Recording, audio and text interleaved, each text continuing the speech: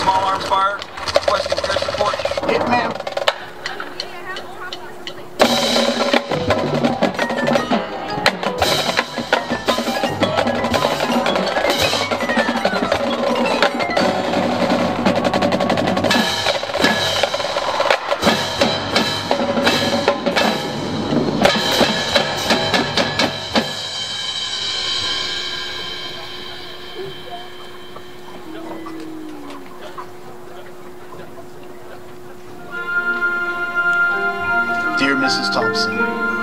It is with deepest regret that I must inform you of the death of Sergeant John Thompson. He was killed in action on December 25th, 2012. He served his